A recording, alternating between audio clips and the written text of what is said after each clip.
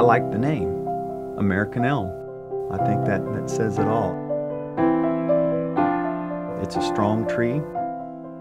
The thing about this very special tree is that it has seen so much in downtown Oklahoma City just since the time it, time it was a little bitty seedling uh, in somebody's front yard. No one knows how it ended up there, putting down roots in a parking lot miles from any forest. It's probably around a hundred years old, but that's just a guess.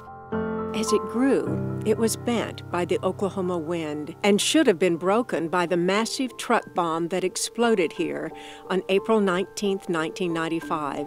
The tree, anchored at ground zero, was only yards away.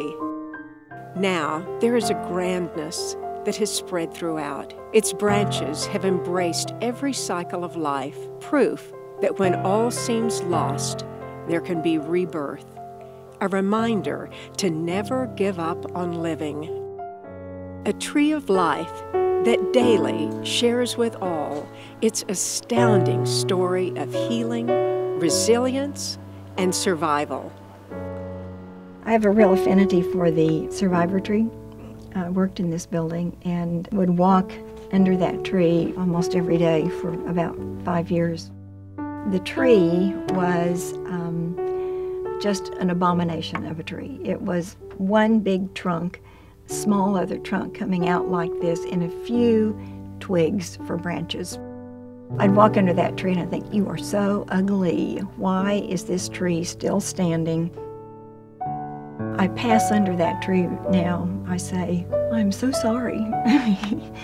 you have taught me such a wonderful lesson. It is not what is on the outside, it is what is on the inside of each one of us. The fact that this tree was, was able to withstand everything, I think it, I think it knew it had something bigger than it, than it was destined to be. In my heart, that, that's how I, I really feel the spirit of this tree lived and continues to live.